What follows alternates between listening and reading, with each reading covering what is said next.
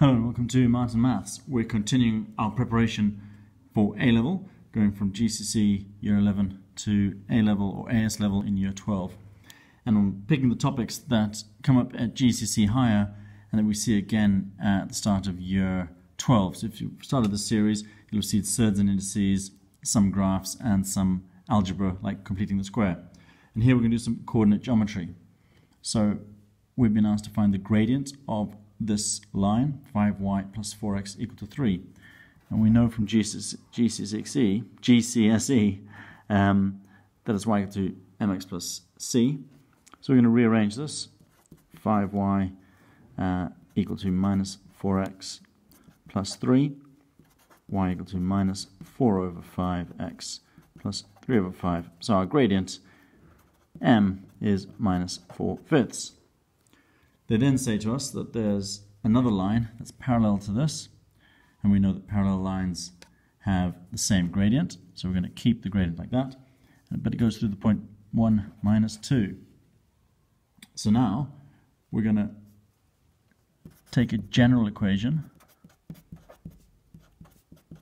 for that line that's parallel to that one.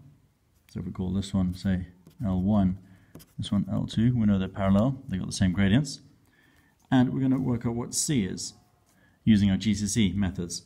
When you get to A level, you might have a y minus y1 equal to m x minus x1. That might be a more useful where you'd substitute those points into there with that same gradient.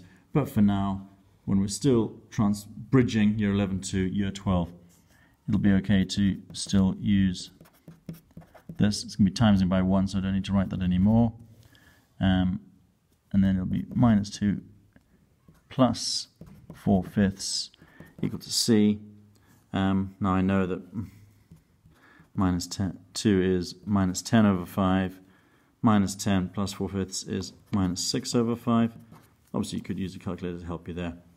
But you'd have y equal to minus 4 fifths x minus 6 over 5.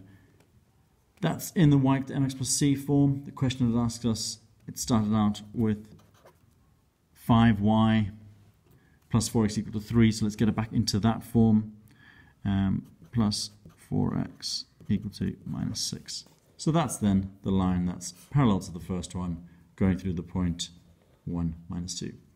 There's some year 11 into year 12 work, uh, coordinate geometry. Thanks for watching. Don't forget to like, subscribe and share.